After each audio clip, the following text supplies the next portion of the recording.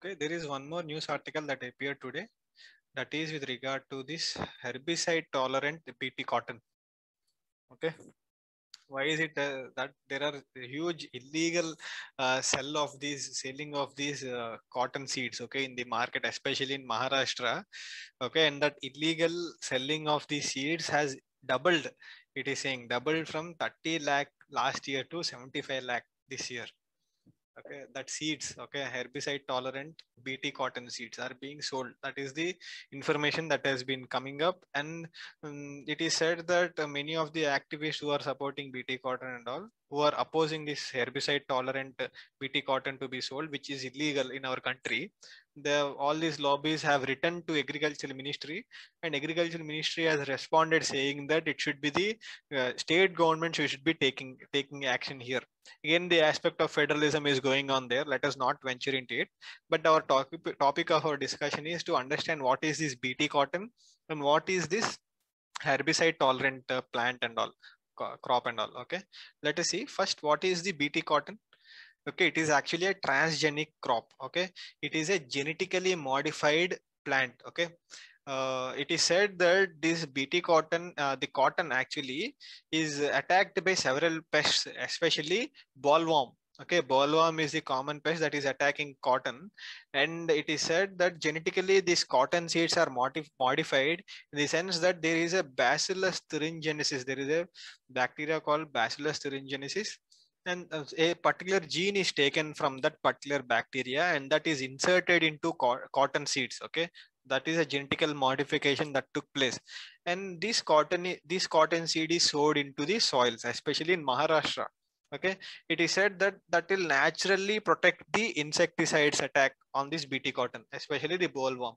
Okay? That is what the bt cotton is a transgenic crop and it is the only transgenic crop that is has been approved by the government. Okay? To cultivate commercial in india okay. We'll restrict our discussion only to the bt cotton and whenever the time permits we'll cover almost everything with regard to genetic modify modification of these crops that is taking place in india. Okay. The whole discussion that is taking place.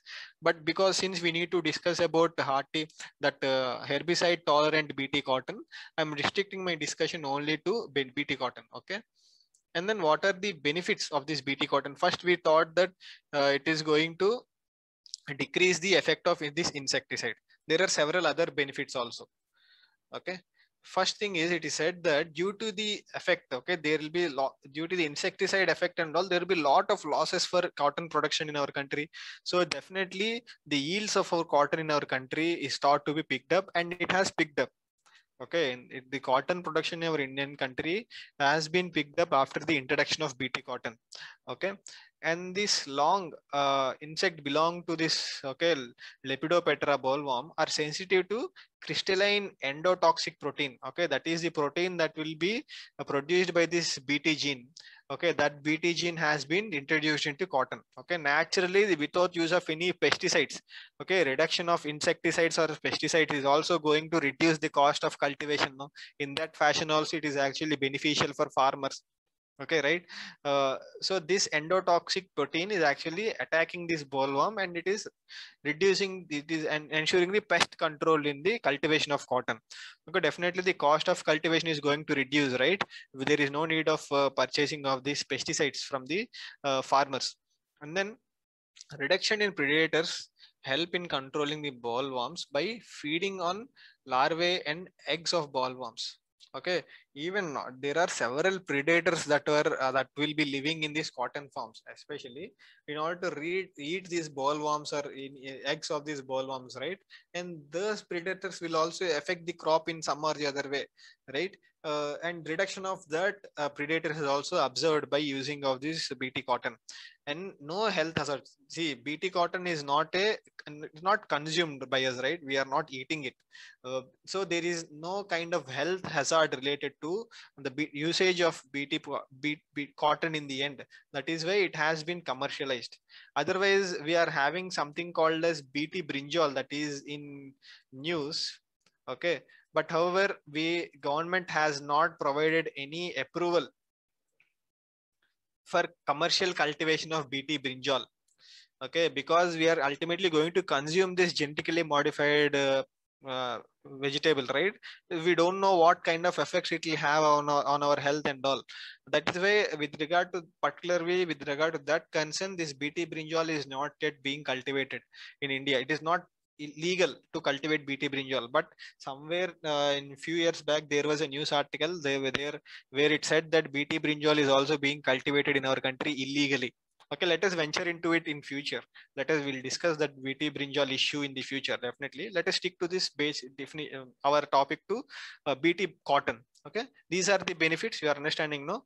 Uh, increase in production pest control reduction in input cost for the farmers right and then reduction in use of pesticides and insecticides on plants and then reduction in predators uh, associated predators and then no health hazards are also seen right? That is why this bt cotton has been commercialized in india. But what are the issues here? Okay so there are several opposition there is several opposition from environmentalists and health uh, health specialists and all. They're saying that we have modified this uh, cotton through our man through anthropogenic means the, the modification in cotton is not natural right? Through we have done human uh, humans have changed it. It is not a natural phenomena. And we do not know the consequences of this nature what what this change will have on nature right? So that in that fashion there is this concern raised that whether we are hindering into the natural process of our ecosystem or not. But that is also challenge right? We are we are modifying the ecosystem. That is what we are seeing. We are modifying our nature and all. We are seeing pollution and climate change. If we are modi- trying to modify the basic genes of several of our plants basic plants and all what kind of effect that will be having in the future? That is one of the concern and issue right uh, issue here right? And it is said that this kind of modification will destroy the genetic modification gen- genetic genetic diversity of cotton itself why is it said that is because since bt cotton is helping us to increase production and providing better income to farmers and all all the farmers will be encouraged to uh, uh, uh, grow only this bt cotton. Okay? In that sense it will become a monotony in the sense in economy in, in the ecosystem there the the cotton diversity will completely be lost right? The cotton will not have its own ability to grow in this nature in order to counter its uh, challenges that the cotton is having. Every life has its uh, own path right in developing its uh, everything. Uh, that is what it said. Genetic diversity of this cotton cotton crops will be lost. And then uh, one more aspect is that bt cotton. This bt cotton seeds are actually designed by an mnc called monsanto and the, our Indian uh, farmers are completely dependent on this Monsanto MNC, which is supplying this seed. Okay, that is also a challenge for us. This monopoly cannot be encouraged, right? We we need to have the freedom to design these crops within our country itself, uh, generate, develop these these uh, seeds within our country. And but however, somewhere down the line, we need to find a solution there and then over the three years reports are also emerging that this pink bollworm that is insecticide that is actually attacking this bt cotton is actually gaining resistance uh, with regard to this gene okay? It is getting immune to this uh, bt bt gene that is seen there. That is also one of the challenge. That means it is going to become a this pink bollworm is going to become a super bug right? That means it is or uh, it is going to become a super uh, insecticide which can protect itself. It can immune it can attain immune itself uh, from any kind of uh, genetic modification that can take place right? Uh, so it, it, this bt cotton is actually altering. We do not know that is what. These insects are also life beings. They'll also learn. They'll also evolve right? So these, it is said that these pink bollworms are evolving and then they are gaining immunity against this uh, change genetic modification that has taken place. Okay? And then in recently uh, with regard to particularly productivity it is said that uh, last year in year uh, 2017 to 2018 there was some 9% lower productivity it is seen. Uh, but we did not completely uh, correlate this loss of productivity completely with this BT cotton usage of particularly because of BT cotton only, uh, this productivity has declined. We cannot say it completely, but somewhere down the line, one of the factor might have been there. Okay, but not decline in productivity might not be completely connected to this usage of BT cotton itself. There might be several other factors also of declining productivity, but one or the other way, productivity is declining. It is thought that one of the factor of declining productivity is because of this continued usage of BT cotton and then uh, growing resistance of pink bollworm with regard to this BT cotton. Okay, let us now come to this herbicide tolerant BT cotton. What is this herbicide tolerant BT cotton? It is additional security. It is additional uh, thing that this this BT cotton is trying to protect from insect called bollworm okay this herbicide tolerant additional security provided into this uh, seed sense that it will protect this cotton from this herbicide called uh, glyphosate. Okay glyphosate actually. Glyphosate it is glyphosate. Okay and thing is that this actually this change is not yet approved in india okay so the sale of this herbicide tolerant bt cotton seeds is completely illegal in india and the sale is becoming very rampant. So what are the issues here? Definitely it is seen that in maharashtra itself okay previously it used to be 30 lakh and now it is reached to 75 lakh. It is a cause of concern and fears include that this glyphosate is actually a carcinogenic okay this herbicide tolerant I mean this uh, glyphosate uh, will be released into atmosphere and it will be it is actually having a carcinogenic in the uh, environment. So such kind of things should be carefully taken care of and then introduced. Otherwise in order to uh, definitely it is since it is uh, protecting cotton from an herbicide thing and all so it is thought it will provide productivity but we cannot completely bypass the side effects of this usage right? So side effects are these only. It is having a carcinogenic effect and then unchecked spread of herbicide resistance can also be seen in the nearby plants.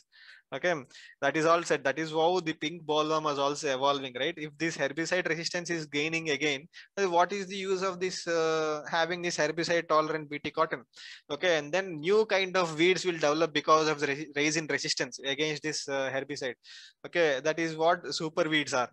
Okay that is what we told about super insect or super bugs with regard to pink bollworm Okay, and to make the matters worse, these illegal seeds are sold using the brand name of prominent companies. That means they're doing what you say uh, illegally. They're selling. That is not completely uh, acceptable right? And all in all this the farmers who are buying are unable to understand the risk that they're associated with uh, the use of this herbicide tolerant bt cotton no? Farmers are actually at risk than using it. First of all there is no accountability of the quality of seed. Who is accountability of the quality of seed? There is no they are they're selling it under name of brand name of uh, some uh, company. It is completely but farmers are unaware of these things no? There the seeds that are sold are completely having lacking any quality there. And it is said that these herbicides are also will pollute agricultural pollution will increase uh, by using these kind of things and industry actually the uh, seed making industry will lose its uh, what you say credibility or branding right? It's branding. The industry all will live on the branding of the industry right? All the seed. Then they'll be losing their legitimate seed seed sale. And then what else in the end? The government it government also will lose its revenue by in terms of tax collection no? Uh, some kind of parallel economy is being developed by this illegal sale of uh, this herbicide tolerant bt cotton. Okay and then ultimately what it will not only decimate small cotton seed companies but also threaten the legal cotton seed market in india right? In both way. Okay uh, small cotton seed companies are going to be affected and as well as the legal aspect. Okay legally we are uh, uh, seeds are seed companies are bound to sell only the bt cotton but uh, some players some mischievous players are uh, playing uh, their game by selling the herbicide tolerant saying that it will and it will provide you better production increase production and all. And farmers are falling for that trap. That is where the problem lies. First thing with regard to resolving this issue is raising awareness for farmers. That is the first thing. And second thing administratively what can be the things that we can take care of okay. First thing is with regard to raising farmers okay. Awareness to the farmers is very much important. But what is the next thing?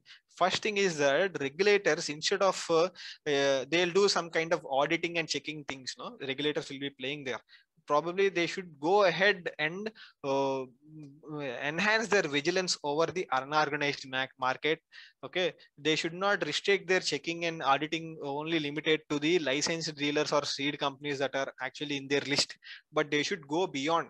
They should go reach the unorganized market also and then keep a tap on vigilance on that unorganized market. And if they are finding any uh, mischievous activity if they can find them and then it immediately the punitive measure should be imposed on them. Otherwise, this illegal activity should be somehow curbed because it is raising. The Maharashtra you have seen 30 lakh seed packets to 70 lakhs, 75 lakh seed packet. It, it has become a huge challenge now. And then center uh, can also have uh, center can also have a dedicated policy with regard to this and then ensures that with according to that policy the state governments must take an action. Okay? That is with regard to this uh, herbicide tolerant bt cotton that was in news today. Okay? Thank you very much